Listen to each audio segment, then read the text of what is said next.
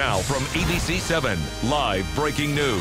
Sam 6, from one of the witnesses coming in, um, they identified uh, a female in a, in a white shirt. That's the one we have down uh, in the center uh, court area with the gunshot wound to the chest. A woman opens fire at YouTube headquarters. And tonight, ABC 7 News has learned the name of the shooter and her connection to the company. Good evening and thanks for joining us. I'm Eric Thomas in for Dan Ashley. And I'm Ama Daetz. Law enforcement remains on the scene tonight. Three people were wounded and hospitalized. The suspected shooter took her own life inside the YouTube campus. Authorities have identified her as Nasim Aghdam.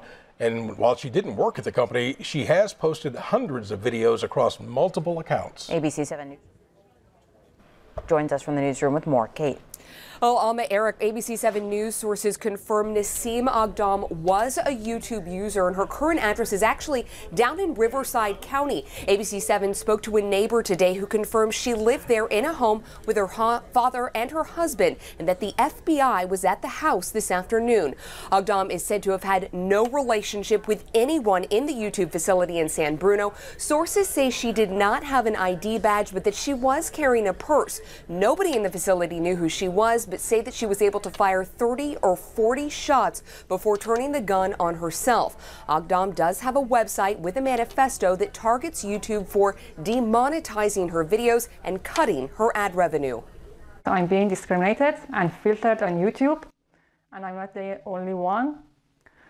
So recently, they also attacked my Persian channel, Nasim Sabz, and if you go and check my videos, you see that my new videos hardly get views and my old videos that used Aghdam also embedded videos belonging to other YouTube stars that talk about the YouTube ad apocalypse, which has caused many users to lose traffic, subscribers, and ad revenue. It appears that Aghdam was disgruntled by those changes in the YouTube platform.